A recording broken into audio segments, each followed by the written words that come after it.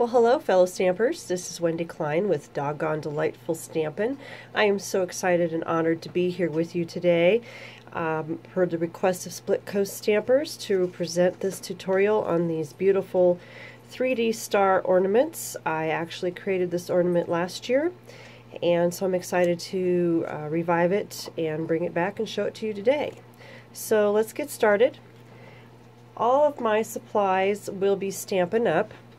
I am a Stampin' Up! demonstrator, so that would be the reason why. However, there's nothing here that you can't find somewhere else. For example, I'm using our, our Nested Stars framelits here. And the reality is, is that there's a lot of beautiful nested framelits out there. My favorite thing, Simon Says Stamp, uh, a number of those uh, spellbinders, they all make beautiful nested dies. So don't feel like you have to have Stampin' Up! to make this ornament. Let's get started here. The first thing that I want to do today is just show you, just take a minute here and show you how I handle my nested dies. You'll see that I have these numbered from the inside out, one, two, three, four, five.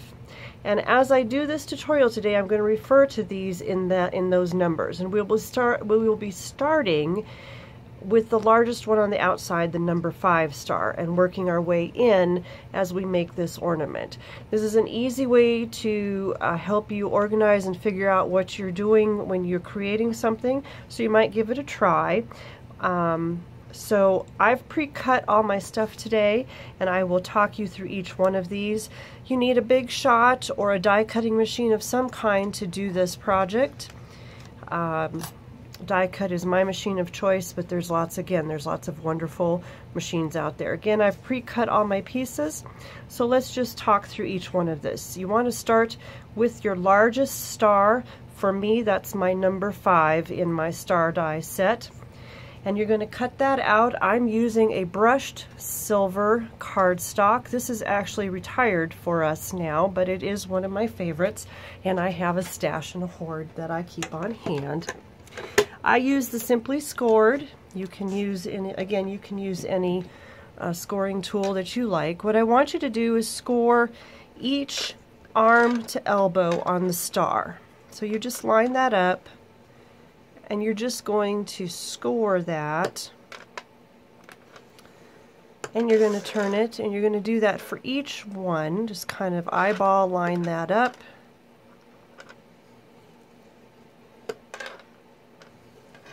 Don't panic if you go off. You won't ruin anything. You can just adjust slightly and get that line to line up. So we're just scoring each arm to elbow is what we call that. And when you have all five of them done, make sure that I've got that lined up correctly. I think I eyeballed that just a little bit wrong. That's what happens when you start getting old. All right, when you've got each one of those done, set that aside for a minute. Now what I want you to do is I want you to fold each arm like this, fold what I call out, and fold each elbow in like that. All right, can you see that okay? Oh, we missed one. See, I got moving too fast. Let me just move that right back in there real quick. And we'll just run that right down like that. All right. Now again, as I was showing you here a minute ago, fold each arm so that it's out like this, each elbow in. Just kind of give that a nice little crease on your score line. Okay. And as you work each one, you'll see the 3D effect start to take on your star. And so in the end it'll look like this. Okay. Kind of give you that, that feel and that 3D effect. Alright. So we'll just set that aside for a minute. Now your second star, star number two is what I call this in the tutorial below, um, is cut from the number four star, the next one in on your die set. We're going to do the same exact thing. We're going to score this from arm to elbow on each star tip.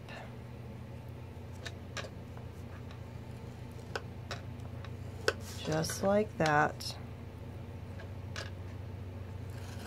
I'm trying not to hurry too much because if I hurry too much I'll catch it wrong and I don't want to do that or miss a tip like you saw me do a minute ago.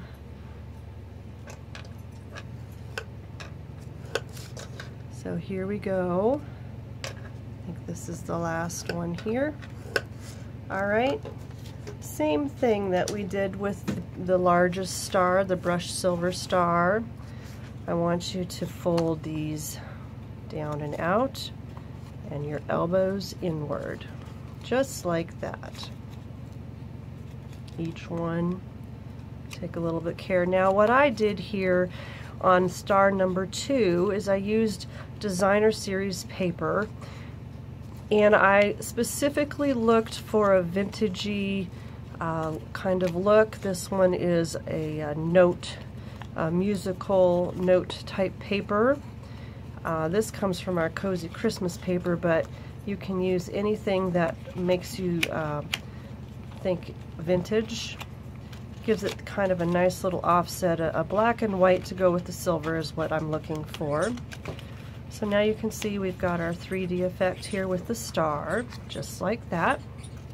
All right, our next star now is going to be cut with the number three and an inside, the center, cut out with the number one.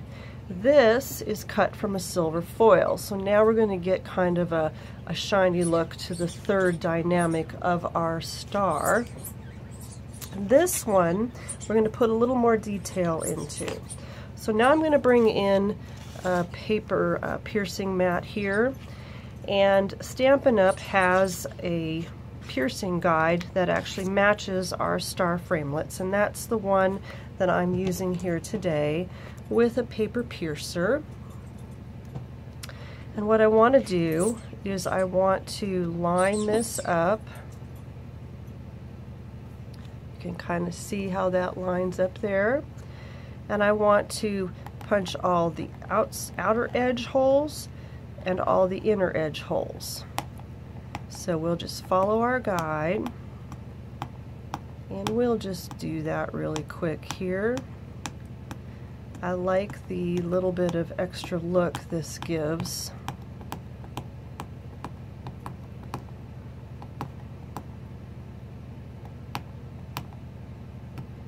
So hang tight for just a minute. We'll just go around this star really, really quick.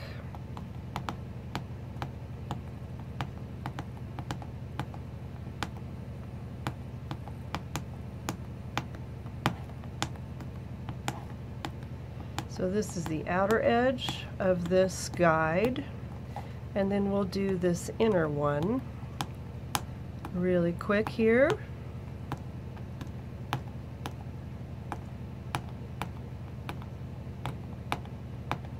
Give our star a little bit of extra interest.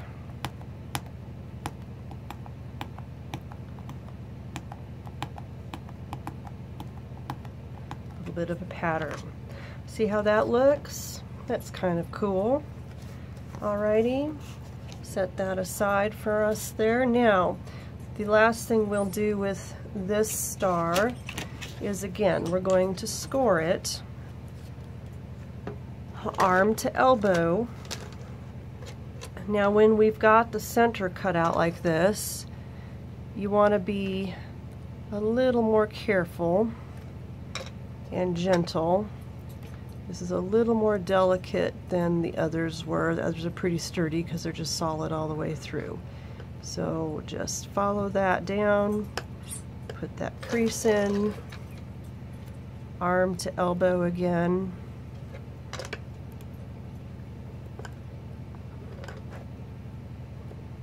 Just like that. Bear with me here for a minute and we'll work our way around this star. You can see how we do this.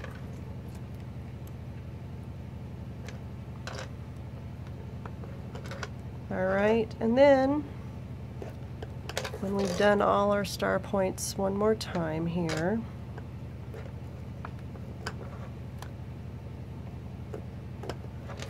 we're going to do the same thing that we did with the other two. The same fold, out on your points, on your arms, in on the elbow. Just the same thing. Now foil is kind of cool because it feels like it uh, almost is kind of like a soft metal and that kind of holds the shape really well with foil so that's kind of a cool thing. So we'll just pop this here like this. And now you can see how that comes together there. All right. Now you need star number four. This is a final star.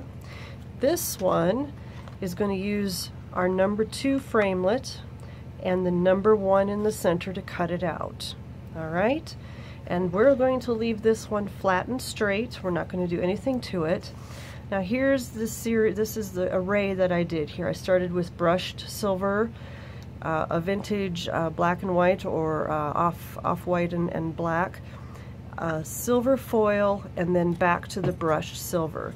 This was my combination for this. The final piece you need for this is a die cut sentiment. I'm using Joy here. This is from our Wondrous Wreath Framelits. If you want to know that, that's what that's from. And I cut that out of our silver glimmer paper. So my final top for this will be very sparkly and just kind of catch attention. Now let me show you how we put this together. You're going to attach these in series. You're going to attach star number two to star number one. And what I want you to do is just take dimensionals here and we're going to put these on two of the elbows on the back side, like this.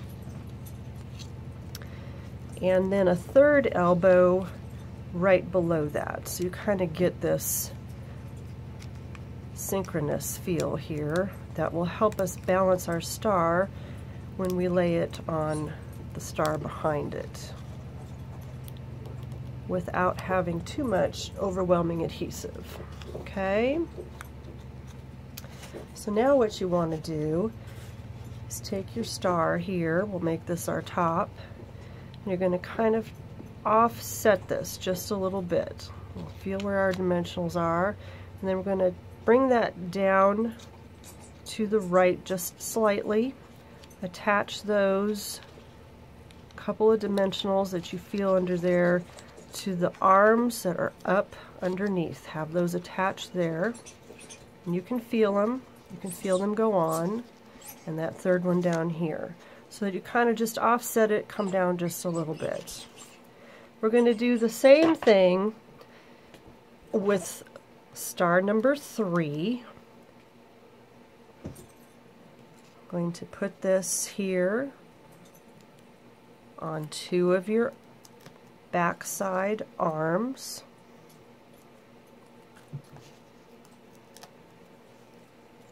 And then a third one down here, just like that, okay?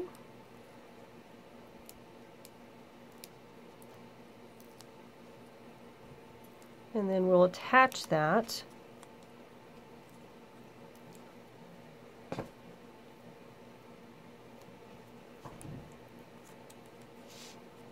We'll attach that again, kind of shifting downward to the right, kind of diagonal it off the other one. We're trying to get a little bit of dimension here, just kind of kind of do what makes you feel good. There's no set way of doing this. I don't want you to feel like there's a right or a wrong. There's not. And you can kind of see as I attach and get those dimensionals to attach underneath. Okay, now this star that we've left flat, we're actually going to use some glue dots on. And I'm just going to attach just a couple of glue dots. You don't need a lot. About three again. And we'll do these on a couple of points here. Three points I think will work for us. All right. And then again, you're going to go the opposite way now. And we're going to kind of just attach that to the star behind it. All right. However you want it to look. I think this works for me. I'm all right with that. Each one's different, so don't feel like there's a right or a wrong. It's, there's no such thing. Finally, we're going to take our two-way glue pen and just on the center of your sentiment in some of the widest parts, put a little bit of two-way glue. Alrighty. And then we're going to just center that right across so that it kind of attaches. Oops. Kind of attaches. no, it does attach. Give that a minute. Two-way glue needs just a few minutes to dry and um, adhere. Kind of put that across the center so that it lays there. Now, our final touch is a little bit of ribbon to hang our ornament with. We're going to use a 1 8 hole punch. And we'll go back to this star point here on the back star, number one star that we picked as our back, our, our main star. This is the top that we picked. We're going to just put a little hole in there, just like that, okay? And then we'll pull a little bit of ribbon of choice. Now I'm using a silver, a 1 8 inch uh, silver ribbon here. I'm just going to pull it through that hole, two ends together. If it won't cooperate for me, I'm going to pull it through the hole. I think I'll pull each piece independently here today. Alright, today it's going to be difficult for me.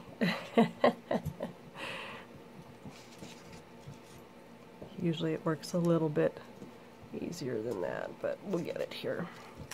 All right, there we go. Now I'm going to just put a knot in that real quick here.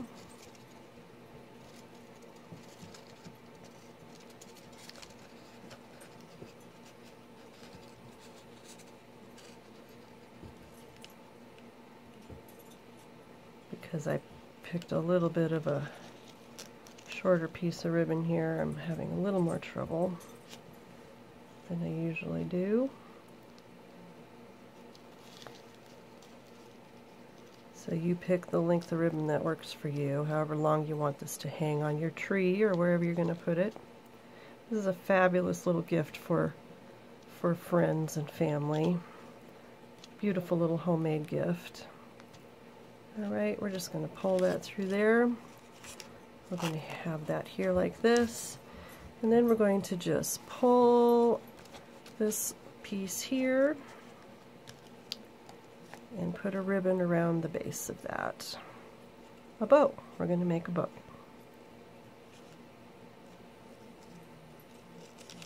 Just like this. See, it's really not too hard. It looks it looks harder than it really is, I think which is the beauty of an ornament like this. Somebody getting this would just be like, wow, you know, that's pretty cool. So we like to wow our gift recipients. And voila. I didn't get that bow quite perfect, but it's good enough. All right, so when you're all done, there you go. Not too hard, not too shabby. I hope you've enjoyed this little tutorial today and that you will give these cute little ornaments a try.